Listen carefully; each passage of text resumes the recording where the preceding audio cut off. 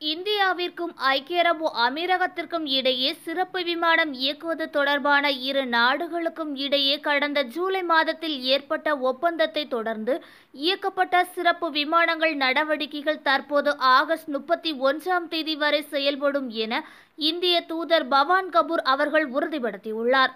கடந்த மாதம் ஜூலை பனிரெண்டாம் தேதி முதல் இருபத்தி ஆறாம் தேதி வரையிலான இரண்டு வார காலத்திற்குள் இந்தியா அமீரகம் இடையே சிறப்பு விமானங்கள் இயக்கப்பட்டிருப்பதும் குறிப்பிடத்தக்கது. தற்போது மேற்கொண்ட ஒப்பந்தத்தின் அடிப்படையில் இம்மாதம் இறுதி வரை ஆகஸ்ட் முப்பத்தி ஒன்றாம் தேதி வரை இயக்கப்பட இருக்கும் உள்வரும் மற்றும் வெளிச்செல்லும் அனைத்து விமானங்களுக்கான டிக்கெட் முன்பதிவானது இன்று ஆகஸ்ட் ஐந்து முதல் தொடங்க இருப்பதாகவும் அவர் கூறியுள்ளார்.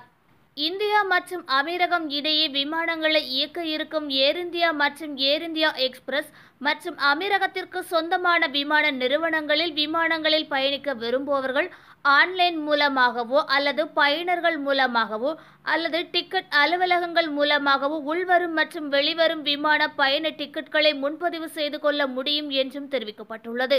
ஐக்கிய அரபு அமீரகத்திற்கு திரும்ப விரும்பும் அமீரக குடியிருப்பாளர்கள் ஐசிஏவால் அங்கீகரிக்கப்பட்ட பியூர் ஹெல்த் நெட்வொர்க் மூலமாக தங்களின் கோவிட் நைன்டீன் சோதனையை மேற்கொள்ள வேண்டும் என அறிவிக்கப்பட்டிருந்த நிலையில் தற்போது இந்திய அரசின் அங்கீகாரம் பெற்ற எந்த ஒரு ஆய்வகங்களிலும் பயணிகள் கோவிட் நைன்டீன் பரிசோதனையை நடத்த அனுமதிக்கும் புதிய விதிமுறை இந்தியர்களுக்கான பயணத்தை எளிதாக்கி உள்ளதாகவும் அவர் கூறியிருப்பது குறிப்பிடத்தக்கது.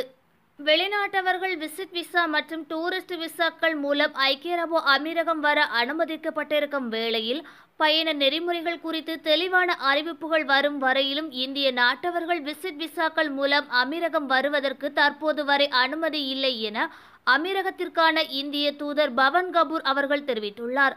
மேலும் இந்தியாவிற்கும் ஐக்கிய அரபு அமீரகத்திற்கும் இடையே இயக்கப்படும் சிறப்பு விமானங்கள் விசிட் விசா வைத்திருக்கும் பயணிகளை ஏற்றி செல்லவில்லை என்பதையும் அவர் உறுதிப்படுத்தியுள்ளார்.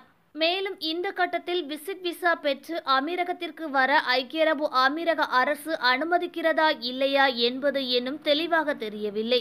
இது குறித்து அமீரக அரசின் தெளிவுக்காக நாங்கள் காத்திருக்கிறோம் என்றும் மேலும் விசிட் விசாக்களில் பயணிக்க மக்களை அனுமதிக்கலாமா என்று இந்திய அரசும் இன்னும் முடிவெடுக்கவில்லை என்றும் அவர் கூறியுள்ளார். இருப்பினும் இந்தியாவில் சர்வதேச விமான நடவடிக்கைகள் இன்னும் நிறுத்தி வைக்கப்பட்டுள்ளதால் விசிட் விசா வைத்திருப்பவர்களை ஐக்கிய அரபு அமீரகத்திற்கு எவ்வாறு பயணிப்பார்கள் என்பதும் தெளிவாக தெரியவில்லை. ஏர் இந்தியா மற்றும் ஏர் இந்தியா எக்ஸ்பிரஸ் ஆகியவற்றால் வந்தே பாரத் திட்டத்தின் மூலமாக இயக்கப்படும் விமானங்கள் செல்லுபடியாகும். அமீரக ரெசிடென்சி விசா வைத்திருக்கும் குடியிருப்பாளர்களை மட்டுமே ஏற்றி செல்கிறது என்றும் அவர் தெரிவித்துள்ளார். இந்தியாவின் சிவில் விமான போக்குவரத்து அமைச்சகத்தின் ஆலோசனைப்படி அமீரகத்திற்கு பயணிக்கும் பயணிகள் தங்கள் பாஸ்போர்ட்டில் முத்திரையிடப்பட்ட செல்லுபடியாகும் குடியிருப்பு விசா மற்றும் ஐசிஏ அனுமதி பெற்றிருக்க வேண்டும் என்றும் குறிப்பிட்டுள்ளது. ஓகே ஃப்ரெண்ட்ஸ் இது போன்ற நியூஸ்களை உடனுக்குடன் தெரிந்து கொள்ள எங்கள் ரேஸ் தமிழ் சேனலை லைக் பண்ணுங்கள் ஷேர் பண்ணுங்கள் கமெண்ட் பண்ணுங்கள் மறக்காமல் சப்ஸ்கிரைப் பண்ணுங்கள்